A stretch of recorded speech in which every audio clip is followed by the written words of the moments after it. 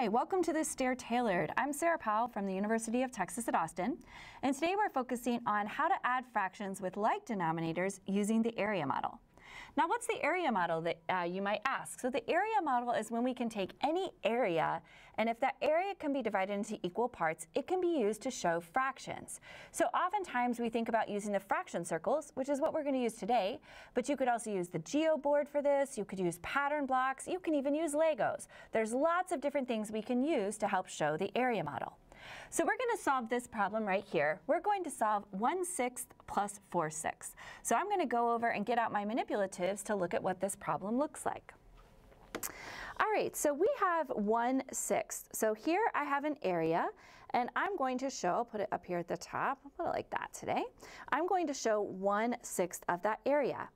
And then we are going to add 4 sixths. So here I have a whole, and within that area, I'm going to show four of the six equal parts. So I'll go ahead and get them out here and get them nicely arranged.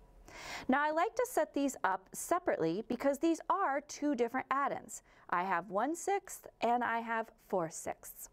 Now we are going to add these together and we're going to add them together. We're not just going to do this, that doesn't show adding together, but we want to emphasize that we're adding the parts of the fraction because that's what we're doing when we are adding fractions.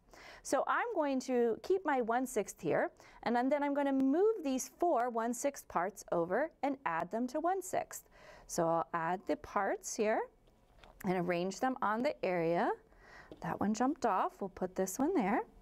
So when I have 1 sixth and I add 4 sixths, our sum is 5 sixths. Now I always like to write that down to make sure that our abstract form of the problem matches our concrete form of the problem. So that was just a very simple example of how we can add fractions with like denominators using the area model.